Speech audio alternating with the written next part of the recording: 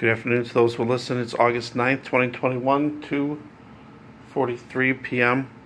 And I the Holy Spirit is leading me to share this and I know that some of you will need this.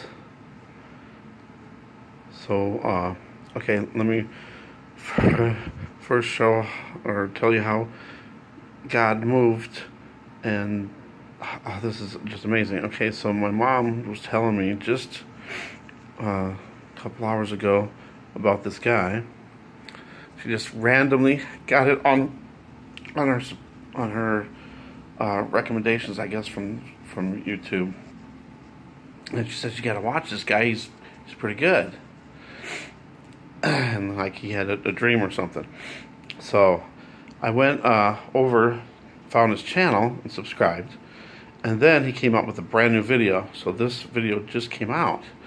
And I believe with all my heart that uh, God worked this way to, uh, so I get to, to watch this video and it really uplifted me. And I was like crying for a long time. So I know some of you guys will will need this. It's a testimony of his from his sister. And you know, um, just remind me and make sure that I put the link in the description. Because sometimes I forget to do that.